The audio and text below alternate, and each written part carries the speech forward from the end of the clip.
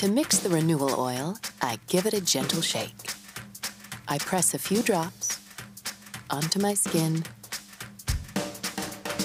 massage, and see where the rest takes me. To smoother looking hair, or softer cuticles, or even to a silkier moisturizer. The possibilities are endless.